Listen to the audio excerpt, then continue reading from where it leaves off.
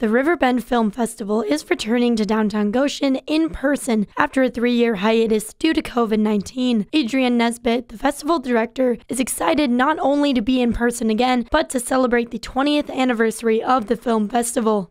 We screen over 75 um, short films, a few feature films, uh, films from over 15 different countries, uh, all right in downtown Goshen. The big thing is that we haven't had an in-person festival since 2019, so we're really getting her back up on her feet. But the other exciting component is it's our 20th anniversary since when the festival was founded. So we're really excited to sort of um, bring out all the bells and whistles to celebrate that 20th anniversary. Nesbitt says that the festival would be impossible if not for the many volunteers that make it happen. We have, you know, from Thursday to Sunday, literally over 100 volunteer slots.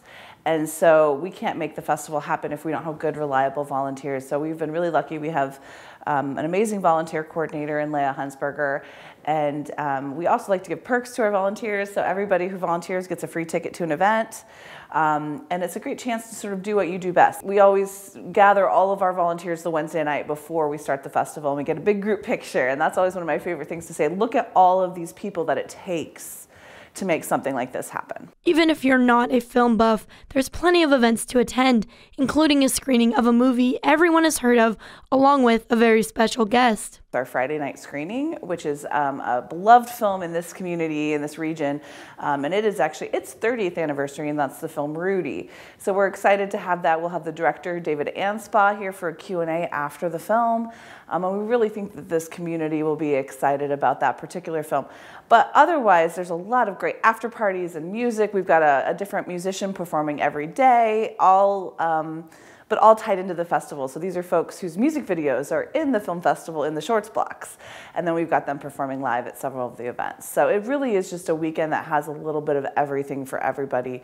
Um, and, and even if you're not big into film, like I said, there's concerts, there's parties, there's workshops. So there's something else. Robert Tombari, the Goshen Theater Program Director, is excited to be a part of the film festival and show off all the changes that have been made to the Goshen Theater. So, this is actually my first Riverbend Film Festival.